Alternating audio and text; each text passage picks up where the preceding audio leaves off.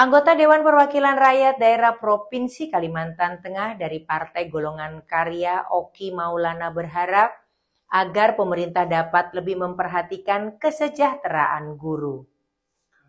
Ia menyampaikan bahwa dengan peningkatan kesejahteraan guru, nantinya dapat berpengaruh pada pemerataan pendidikan khususnya di Provinsi Kalimantan Tengah.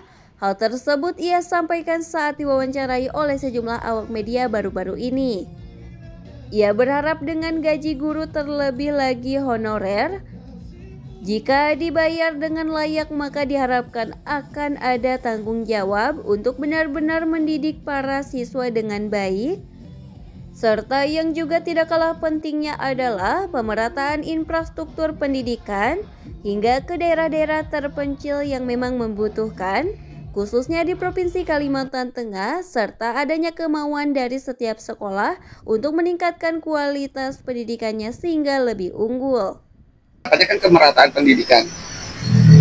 Kayak apa kita hendak merata pendidikannya masih guru aja tuh masih belum dibayar layak kayak itu kan guru aja belum dibayar layak buhannya juga ada mereka juga nggak ada kebutuhan untuk menaikkan kelas murid anak muridnya karena sudah pasti naik kan? Nah itu secara secara tidak langsung menurunkan kualitas pendidikannya juga. Guru sekolah untuk jadi sekolah unggulan tuh bagus sebenarnya untuk daerah. Cuman harapannya memang uh, skala prioritas dari pemerintah tuh pakai memperhatikan sekolah-sekolah yang kada yang tidak favorit tadi ya. itu bisa turun ke sana juga. Maksudnya kalau sudah favorit, oh otomatis kan pendapatnya dari murid kan sudah cukup lumayan banyak. Jangan disiram ke sana lagi, siram yang ketinggalan. Iya. Tim Liputan Sampi TV mengabarkan.